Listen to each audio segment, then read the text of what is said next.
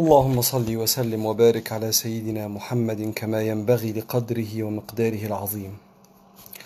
اللهم صل صلاة كاملة وسلم سلاما تاما على نبي تنحل به العقد وتنفرج به الكرب وتقضى به الحوائج وتنال به الرغائب وحسن الخواتيم ويستسقى الغمام بوجهه الكريم وعلى آله.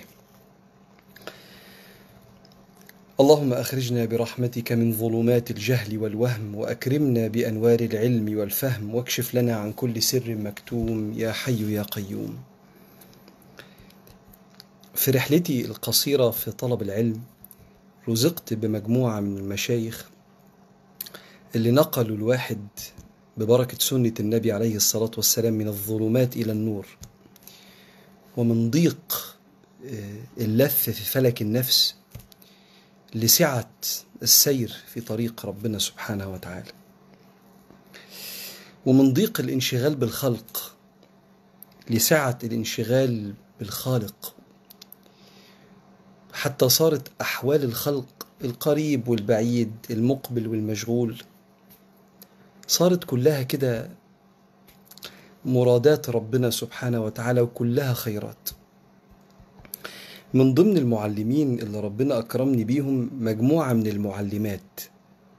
يعني عندي في القرآن معلمة وعندي في التدريس معلمة عندي في اللغة معلمة عندي في الكوتشنج أكتر من معلمة. وسبحان الله من رحمة ربنا وكرم وأما بنعمة ربك فحدث. كان للمعلمات النساء طبعا جنب أساتذتنا ومشايخنا كان ليهم بصمة كبيرة جدا. من ضمن معلماتي معلماتي اللي علموني كوتشنج أستاذة رانيا أبو ربيع. ست ثقيلة في العلم. وأنا كل يوم الصبح كده إيه ببقى عايز أشوف هي كاتبة إيه على صفحتها. ويمكن خاطرة الفجر النهاردة بتدور حوالين كلمة كانت مكتوبة على صفحتها تقريبا بتاريخ 21 إبريل إبريل. كانت كاتبة على صفحتها أنا عامل لها see first كده فبشوفها على طول. كانت كاتبة يمكن خاطرة الفجر النهاردة حوالين الموضوع ده. من الأرواح من إذا ملكتك ملأتك وإذا آوتك داوتك وإذا أحبتك أحيتك. سواء كان ده الكلام الثمين ده كلامها أو نقلاه عن حد نشكرها إن هي وصلته لنا. من الأرواح من إذا ملكتك ملأتك وإذا آوتك داوتك. من المداواة لما تقويك تداويك. وإذا أحبتك أو أحبتك بقى أحيتك من الحياة. الحقيقة أنا لما قريت الكلام ده جه في بالي ربنا وجه في بالي بعض البشر بيعملوا كده. بس أنا مشغول دلوقتي برؤية ربنا في الحتة دي. زي ما المشايخ علمونا أي صفة حلوة شوف ربنا بيعملها إزاي الأول. من ضمن الحاجات اللي ربنا دايما بيعملها معانا إحنا كعباد ليه إن كل نقص عندنا ربنا يكمله. حتى يظهر الإنسان في علاقته مع الله كأن العلاقة كاملة.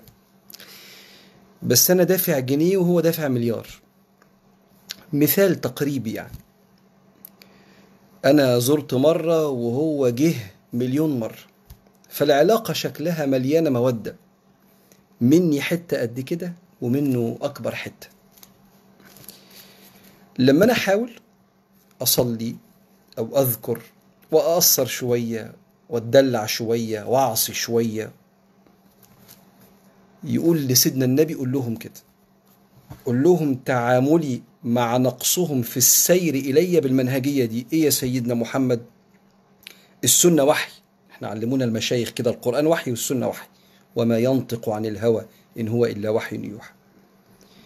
قال صلى الله عليه وسلم قال الله في الحديث القدسي من تقرب مني شبرا أنا عارف إن أنت حافظ. بس شوف مين اللي بيجي لمين وشوف مين اللي مخلي العلاقة حلوة. من تقرب مني شبرا تقربت منه ذراعا.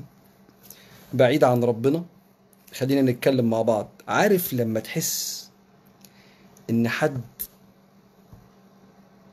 حب اللي انت عملته إحنا كبشر عارف لما تحس ان أنا ما صدقت ان انت جاي فقصرت لك المسافة طب أنا محتاجك. أنا محتاجك فما صدقت افتكرتني عشان أنا محتاجك. بس ربنا مش محتاج لحد. ربنا بيقول إن تكفروا فإن الله غني عنكم ولا يرضى لعباده الكفر وإن تشكروا يرضه لكم. آه حلو ده. حلو نبقى جنب بعض. فمن تقرب مني شبرا تقربت منه ذراعا. ومن تقرب مني ذراعا تقربت منه باعا يعني مسافة ذراعين ضعف المسافة. كمل كده. ومن أتاني يمشي أتيته أهرول. هرولة كما يليق بالله ما نعرفش أنا لما هرول يعني أجري بسرعة أو أمشي بسرعة أمشي بسرعة عشان في حاجة عايز ألحقها. الهرولة في حق الله كما يليق بالله ليس كمثله شيء. بس متخيل ان إله يقول إن أنا بهرول على عبادي. أنت متخيل إحنا فين؟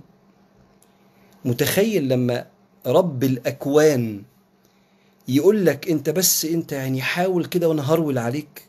تعرف هو ربنا عايز يحسسك بإيه؟ تجاه نفسك. وتجاه العلاقة معاه وتجاه اليسر اللي هو أراده. ومن الأرواح ده بقى ربنا بقى مش أرواح. من إذا ملكتك ملأتك. شوف المالك سبحانه وتعالى بيملنا بإيه؟ لو أنا فقير ومعيش فلوس هو ده نقص. محتاج أكل وأشرب. يقول لي استنى. ما تقول لهمش أنا أقول لهم الأول. في رسالتي لهم في القرآن في رسالتي لهم. هكلمهم عنك كتير. وأكلمهم عن احتياجاتك. بس اللغة اللي أنا هكلمهم بيها عن احتياجاتك ما تخطرش على بالك. اعتبر إن إحنا ما نعرفش القرآن. تتصور ربنا بيطلب الفلوس إزاي من الأغنياء للفقراء؟ من ذا الذي يقرض الله قرضا حسنا. الصحابي سيدنا أبو طلحة لو ما خانتنيش ذاكرتي قال يا رسول الله آه الله يطلب منا القرض. هو في كده؟ آه. هذه التنزلات الربانية عشان قلبي يتحرك. ممكن كان ربنا يقول ادوهم يا إما الفلوس دي هتتشوي بيها في نار جهنم. وكان يبقى كلام ربنا اللي على راسنا من فوق. لكن ربنا يقول للغني اللي أصلا فلوسه هي فلوس ربنا وآتوهم من مال الله الذي آتاكم. يقول له سلفني. من ذا الذي يقرض الله قرضا حسنا؟ طبعا العلماء لما يقولوا حسنا يعني لما يجي يعطي الفقير أنت بتعامل مع ربنا بقى. في الفقراء. أغنى الأغنياء أنت بتعامله في معاملتك للفقراء. فتديله بكرم وبابتسامة ومش وأنت زهقان من غير ما تمن عليه. حتى إن الصالحين كانوا يعلمونا تبقى إيدي هي اللي تحت وتكون اليد العليا هي يد الفقير. حتى يشعر أنه صاحب اليد العليا. فتديله من تحت كده. وكأنك بتستأذنه يقبل منك عطاء الله. لو أنا عاصي العاصي اللي بيغلط كتير ده نقص. من إذا ملكتك ملأتك حتى العاصي ربنا بيملاه في الثقة في الطريق. فربنا لما يحب يشكر في حاجة يقول نعمة. نعمة يعني أعلى شكرانية. عارف ربنا قال إيه؟ قال نعم العبد إنه أواب. الأواب كثير الرجوع. عشان كده أنت لازم تحفظ الكلمة دي. لما واحد راح للحسن البصري قال له بغلط وبرجع وبغلط وبرجع. ده اسمه إيه؟ قال يا بني هذا حال المؤمنين. تواب أواب. وكأن ربنا بيقول لك كل ما غلطاتك تكتر كل ما تشوف مني سعة في قبولك كما أنت. بس خليك دايما معايا ارجع لي. من أجمل ما أعشق في آيات سورة النساء. ومن, ومن يعمل سوءا أو يظلم نفسه ثم يستغفر الله يجد الله. غفورا رحيما. أحب خمس آيات في سورة النساء لسيدنا عبد الله بن مسعود. كان يقول في خمس آيات أغلى من الدنيا بالنسبة لي. منهم ومن يعمل سوءا أو يظلم نفسه ثم يستغفر الله ربنا زي ما هو مش بيتغير يجد الله غفورا رحيما طب لو مريض أنا لو مريض هبقى نفسي الناس ما تسيبنيش لوحدي لأن القعدة لوحدي على سريري كده وحواليا الدواء أو في المستشفى وحشتوني. بس أنا مش هقعد أكلم الناس أقول لهم تعالوا زوروني. فربنا يقول ما تكلمش حد أنا هرصد لهم أجور تخلي اللي يعرف إنك مريض لو عايز منفعة في الدنيا والآخرة يجي لك. قال صلى الله عليه وسلم من عاد يعني يزور مريضا بكرة يعني بكرة يعني الصبح استغفر له سبعون ألف مش شيخ ولا عالم ولا مؤمن استغفر له سبعون ألف ملك حتى يمسي. زرت واحد الساعة 12 الظهر. لغاية أذان المغرب ستة ونص الملائكة عمالة تستغفر ليك. ومن عاد مريضا عشية بالليل استغفر له سبعون ألف ملك. أنت متخيل؟ يعني سبعين ألف؟ يعني ملك بيقول لك؟ بيقول له ربنا سامحه يا رب. ورب الملائكة غالية عند ربنا. سبعين ألف بني آدم سبعين ألف ملك بيدعوا لك إن ربنا يغفر لك. أروح أشوف فين بقى سيئات يوم القيامة لما سبعين ألف ملك؟ طب كم مرة زرت مريض وبالتالي شوف أنت زرت عشر مرضى مثلا في آخر عشر سنين؟ عندك سبعمائة ألف ملك بيدعوا لك. كل ده ليه؟ عشان المريض لا يحوج إنه يتصل بحد أنا أجيبهم لك. لغاية عندك. لغاية عندك. واللي ما يزوركش يوم القيامة ربنا يقول له كما في حديث البخاري أنا كنت عيان وأنت ما جيتش زرتني فيقول له حضرتك إزاي؟ ازور حضرتك بتعيا؟ عبدي مرضت فلم تعدني. هو ربنا بيتكلم كده ليه؟ لأن الكلام ده بيخاطب القلب بيخليه ينفعل. أنا مش عايز ربنا يقول لي كده. أنا عايز حبيبي اللي عي ده أبقى خادم ليه مش بس أزور. مرضت فلم تعدني. كيف أعودك وأنت رب العالمين؟ أما علمت أن عبدي فلان مرض؟ أما علمت أنك لو زرته أو عدته لوجدتني عنده؟ طب واحد مات بقى. من إذا ملكتك ملأتك وإذا آوتك داوتك من المداواة. طب الميت ده بيأوي إلى الله ما مش هيعرف. يا جماعة اللي في البلد تعالوا صلوا عليا. يا ناس يا اللي كنتوا معايا في المدرسة ادعوا لي. يا حبايبي يا بتوع الفيسبوك اكتبوا عني عشان الناس تفتكرني. يا اللي طالع تعمل حج. قال له مش هتعرف تعمل كده انت مت خلاص. أنا هكمل لك النقص ده. اولا وملك الموت نازل ربنا يوصيه. تخش عليه دخلة حبايب تخضوش. بسم الله الرحمن الرحيم. قل يتوفاكم ملك الموت الذي وكل بكم. موصيه يوكل حد يوصيه. وكل بكم ثم إلى ربكم ترجعون. وصاه بإيه؟ قال له تخش عليه تقول له سلام عليكم. عشان يحس بالسلام تحية السلام والإسلام. تقعد عند راسه كده وتطبطب عليه وتكلمه بطريقة طيبة. بسم الله الرحمن الرحيم. الذين تتوفاهم الملائكة طيبين يقولون سلام عليكم. ادخلوا الجنة بما كنتم تعملون. يلا رايحين للجنة. ملك الموت يقول كده للصالحين ربنا موصيه. والأحياء اللي هيجي يصلي على حبيبي اللي مات ده هيرجع معاه جبل أحد حسنات. قال صلى الله عليه وسلم من صلى على جنازة رجع بقيراط من الثواب مثل جبل أحد. جبل أحد ده قطره 22 كيلو وارتفاعه 1083 متر تقريبا. ده وزنه كام 100 طن؟ في ميزان حسناتك عشان صليت على واحد مات. حاسس إنه ضعيف محتاج حد يدعي له. ومن شيع الجنازة حتى تدفن رجع بقيراطان من قيراطين فكتر خيرك يا سيدتي الكريمة يا صاحبة هذا الكلام اللي بيحيي القلوب. إحنا خدناه على ربنا النهاردة. فمش الأرواح بقى. الله إذا ملكك ملأك وإذا أويت إليه داواك وإذا أحبك أحياك. من الأرواح من إذا ملكتك ملأتك وإذا آوتك داوتك وإذا أحبتك أحيتك. الحمد لله على معلمينا والحمد لله على كل شيء. يلا بينا نقرأ بسرعة أسئلة حضراتكم من امبارح عايز أجاوب على كام سؤال آه السيدة الكريمة نور بتقول هل حب الإنسان لنفسه يتعارض مع فكرة الإيثار؟ طب ما طبيعي أي حد يحب نفسه أكتر ممكن نتنازل فقط للأقربين. آه الأصل إن الإنسان الطبيعي إنه يحب نفسه، سيدنا النبي قال كده لا يؤمن أحدكم حتى يحب لأخيه ما يحب لنفسه، فأثبت إن طبيعي تحب نفسك بس طلب منك حاجة. اللي بتحبه لنفسك حب إنك تشوفه مع الناس، فلو عايز الناس تحترمك احترمهم، تكرمك اكرمهم، محدش يغدر بيك ما تغدرش أنت كمان. إن عايز تشبع شبع الناس لو أنت قادر. ففي بعض الأوقات اختيارا بيختار الإنسان إنه يفضل اللي قدامه على نفسه. زي ما بيكون مثلا وانت في المواصلات ومفيش غير كرسي واحد تفضل يا حاجة تفضل يا أختي تفضل يا سيد تفضل يا صاحبي مش ممكن يبقى قوي برضه شاب يعني ساعده مكاني. وأنا حاسس كده إن أنا في قمة الشعور بإن أنا بخدم عباد الله. ده مش معناه ما بحبش نفسي. في بعض الأوقات حد هيجي يطلب مني مشوار معاه هقارن ما بين المشوار وامتحان ثانوية عامة بتاع بكرة أقول لا أنا هنا نفسي اولا. هقارن ما بين المشوار وقعدتي إن محتاج استريح عشان بكرة عندي شغل. هيبقى هنا نفسي اولا. فالإيثار لا يتعارض لكن في بعض الأوقات لا. لا. ممكن أجي على نومي وأجي على نفسي عشان خدمة حد يستحق. فهي مواقف. وكل ما الإنسان ياخد خبرة في الحياة ويوفق من الله بيوازن ما بين حب النفس والإيثار. كارين بتقول أتعامل إزاي مع الشخصيات النك... النكدية الحزينة؟ لما اتعلمنا يا كارين من مشايخنا في الطريق إلى الله علمونا ما يسمى بالتفهم أو التقبل. جم علمائنا بقى اللي علمونا coaching واللي علمونا بعض العلوم الحديثة مسألة ال acceptance إن كل واحد جاي منين؟ جاي منين مش جاي منين مكان؟ جاي منين حزنه؟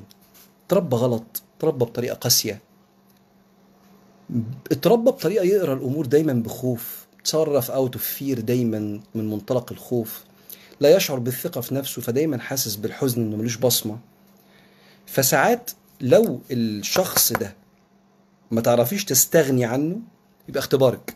كان أبوكي كده كان أخوكي كده كانت والدتك حد من الأصدقاء المقربين جدا اللي بينكم عشرة طويلة تفهمي موضوع الحزن ده.